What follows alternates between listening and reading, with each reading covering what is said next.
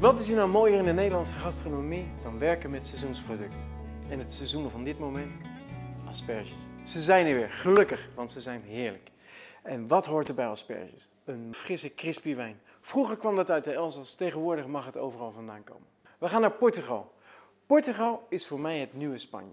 Zoveel mooie dingen. Portugal is natuurlijk een, eh, land met heel veel inheemse druiven en die gebruiken ze te pas en te onpas. We gebruiken Antaufas, Raipero en een klein tikje Perum. Druiven waar ik nog nooit van gehoord had, maar we gaan het gewoon eens proeven. Asperges zijn een klein beetje ziltig, wat zoetig van zijn uh, structuur. Hier in het restaurant gebruiken we ze uiteraard ook. Frisse tonen.